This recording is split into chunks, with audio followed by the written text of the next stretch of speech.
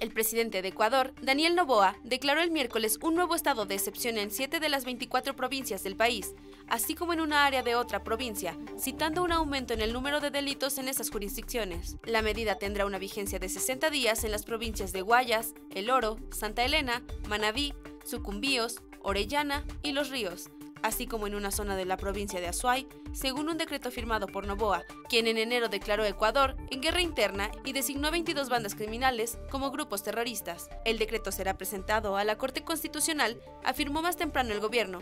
este mes, el tribunal dictaminó que una declaración de estado de excepción, previo en cinco provincias, no estaba suficientemente justificada. Las fuerzas de seguridad podrán ingresar a viviendas e interceptar correspondencia en las provincias objetivo, de acuerdo al decreto. La oficina del fiscal general está investigando ocho casos de posibles ejecuciones extrajudiciales que supuestamente tuvieron lugar durante el estado de excepción más reciente del país, en medio de advertencias de grupos de derechos humanos respecto a que las autoridades no estaban tomando medidas para prevenir abusos.